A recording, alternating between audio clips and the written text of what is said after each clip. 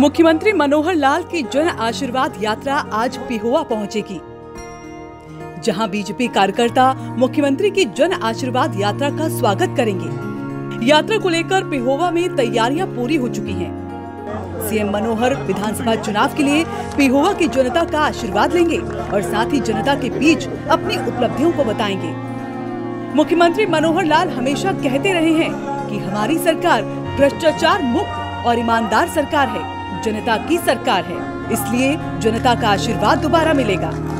BJP ने इस बार अक्टूबर में होने वाले विधानसभा चुनाव में पिचहत्तर से ज़्यादा सीटें जीतने का लक्ष्य रखा है। आर नाइन टीवी के लिए पिहोवा से प्रमोद सैनी की रिपोर्ट।